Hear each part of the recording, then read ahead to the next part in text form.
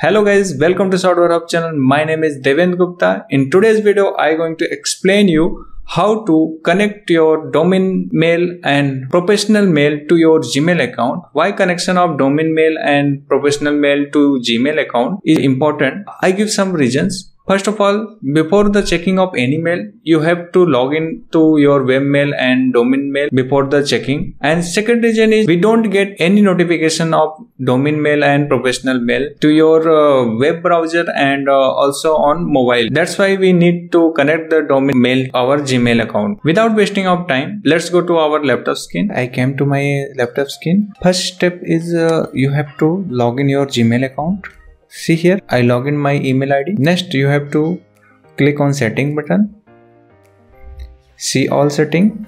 After that you have to select the forwarding and pop-up slash IMAP here you have to enable IMAP I, what is the IMAP IMAP is the Internet Messaging Access Protocol. User can be logged in by multiple email client or computer or mobile device. That's why we need to enable this. We have to save it changes. Let's go to second step. You have to log in your hosting cpanel and search email. After that select email. Here you have to select manage. See here i have already created one email id and uh, if you want to create another then simply click on create and select your mail id and this is your domain you cannot change it. And select your password. And simply create. Professional email id is created. Now we need to connect your devices. Select your device. Suppose you have apple mail. Then this information we needed during the connecting of that mail to your device host name and value these are important thing. Suppose uh, i want to connect my gmail account then select your gmail account take a screenshot. Otherwise you have to duplicate this. Simply complete. This hosting name and value data we needed during the connecting of gmail. Our second step is completed. Now we going to third step. Simply again go to gmail account setting see setting select account and import after account and import, check in mail from other account. Here add email. Paste it here your email ID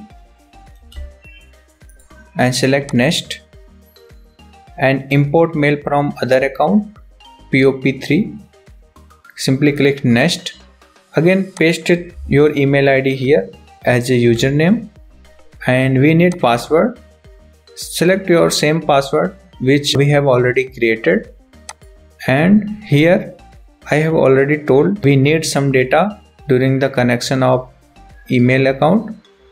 Simply go to setup and here for pop server you have to copy this and paste it here.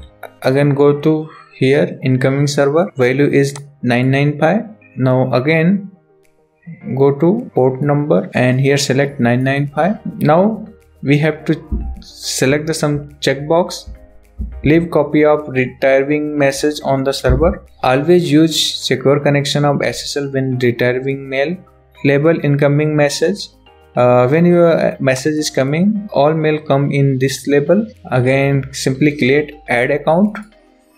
If you want to send email through uh, this email then you have to select s and simply click next. Select your name this is a dis display to another user when they getting mail.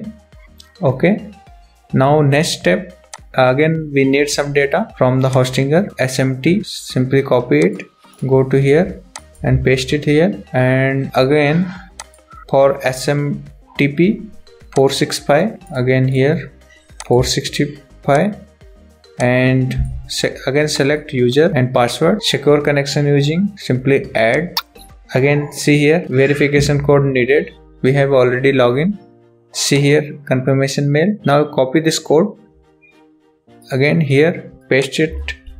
And simply click verify. Your uh, verification is completed. Again now go to our email section and simply refresh. After refreshing see here your email id is connected to your gmail account. Now we need to check if mail is coming or not. See here six mail received. Now go to your email account inbox and here your email id and here four email are received here. Now i want to reply email id by using my uh, email id which we have created. Simply click reply.